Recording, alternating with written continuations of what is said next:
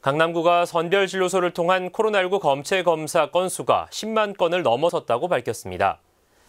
전체 누적 건수는 11일 기준 10만 1,961건으로 전국 615개 선별 진료소 중 가장 많은 검사를 진행한 것으로 집계됐습니다. 특히 지난 1일 스마트 감염병 관리센터 운영 이후 11일간 하루 평균 1,200여 건의 검사가 진행됐으며 이는 11월 같은 기간에 비해 2배 넘게 증가한 수치입니다. 한편 강남구는 지난 1월부터 증상 유무와 관계없이 누구에게나 검체 검사를 무료로 진행하고 있습니다.